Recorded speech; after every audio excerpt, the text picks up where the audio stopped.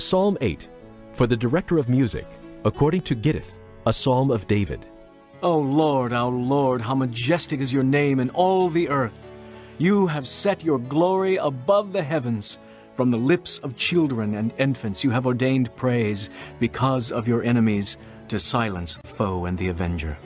When I consider your heavens, the work of your fingers, the moon and the stars, which you have set in place, what is man that you are mindful of him, the son of man that you care for him?